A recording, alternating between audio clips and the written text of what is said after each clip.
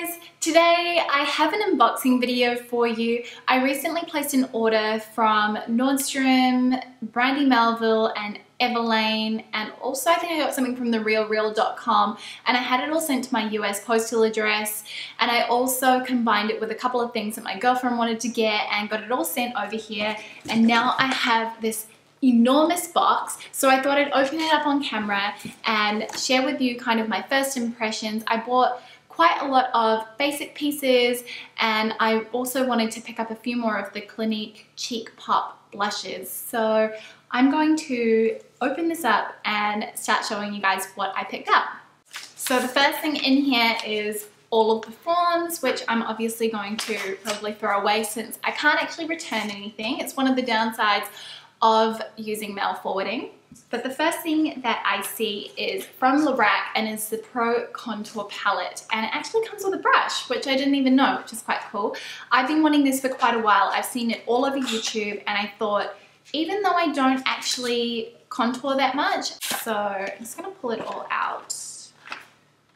All right, so this is what the outside of the palette looks like.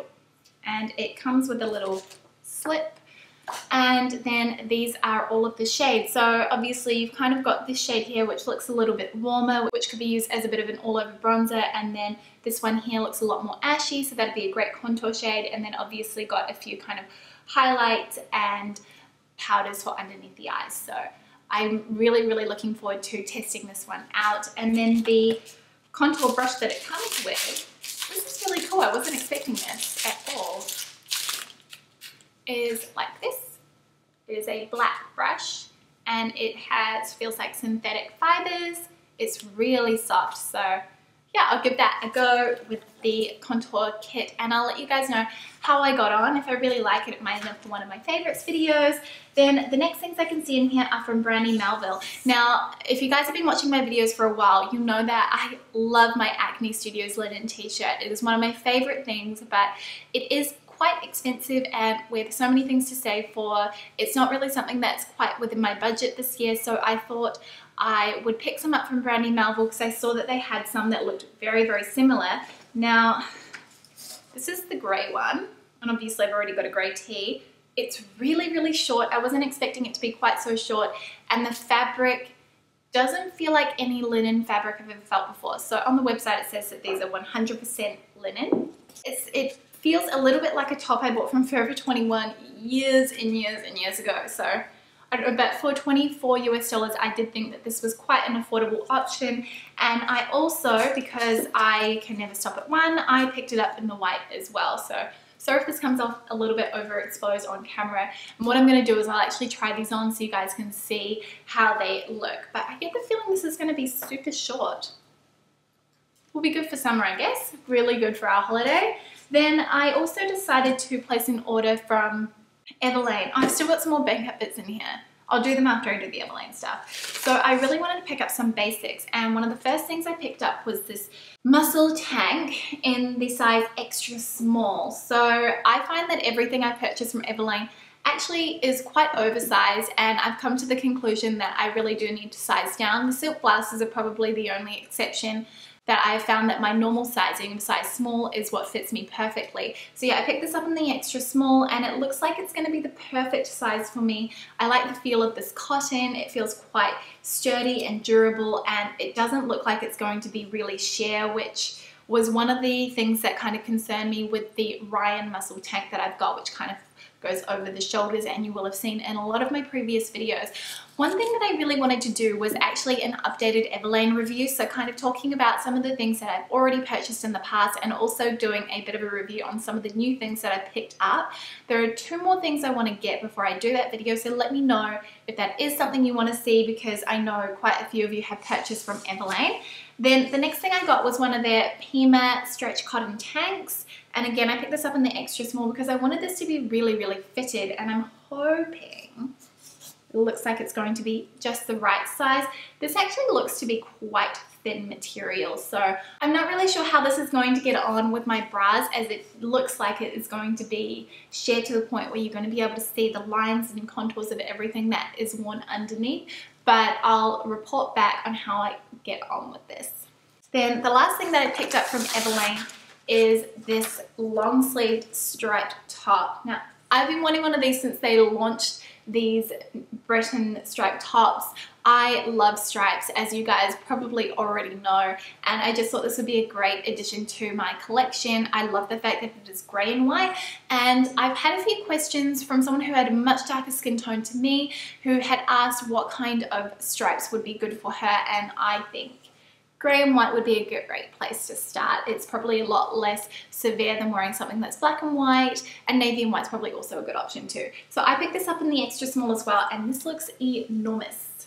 Don't know if you can tell, but it looks huge. Really, really looking forward to this one. I think it's going to be a great addition to my wardrobe for the upcoming winter as well. So the reason why I placed this order from Nordstrom is because as I mentioned before, I really wanted to pick up a couple more of the Clinique Cheek Pops because I think that they are amazing. So I grabbed two more shades and I got Ginger Pop and Melon Pop. I'm just gonna pull them out. So this first one is Ginger Pop and oh, this looks really pretty.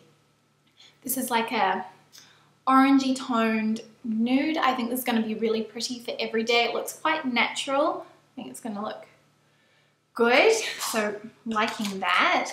They kind of seem to look a bit different in person than when you look at them on the website. So, ooh, and this one looks really pretty too.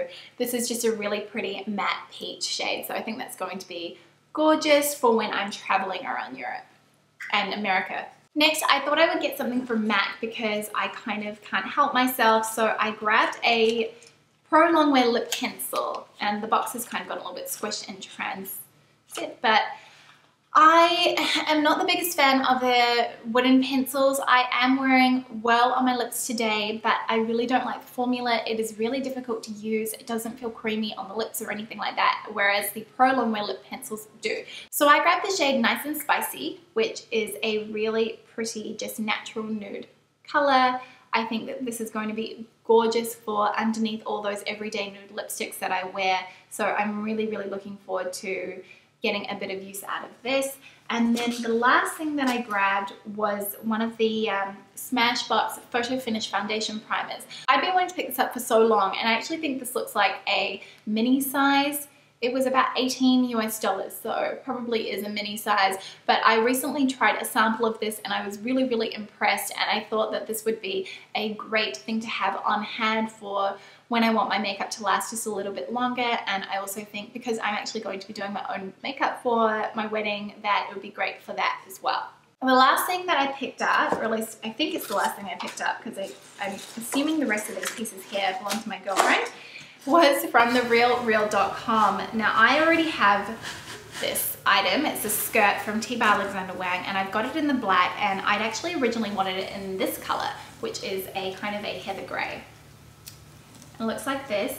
And I love the fact that because it is grey, you can see a little bit more of the paneling detail on the front and then on the back. It's just got two little poppers and a zip up closure. And it also has this cute little kind of peplum frill which is very very subtle. So I'm really really looking forward to getting a bit of wear out of this for winter. I think it's going to be great. And it's just really good quality. It's kind of like a wool flannelette it's really beautiful and I'm just so happy with my black one that I figured I might as well grab this and when I saw it, it was a really good price as well. So very, very happy with that. So that was everything that I picked up. I did buy everything over about a two to three month period. So this has been a long time in the making. If you guys are wondering how I actually use mail forwarding to buy Everlane, because as you know, it's not actually a brand that ships worldwide.